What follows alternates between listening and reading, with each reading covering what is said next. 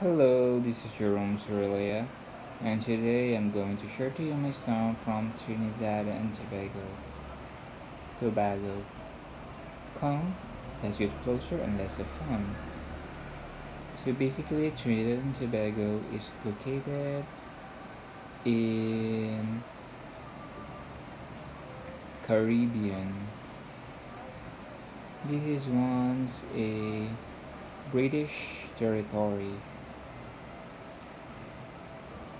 Are they still? I think they're already a free country right now. This they're a self-governing country.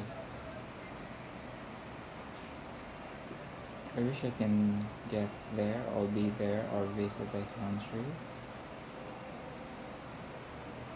But these places are only for the rich and famous people.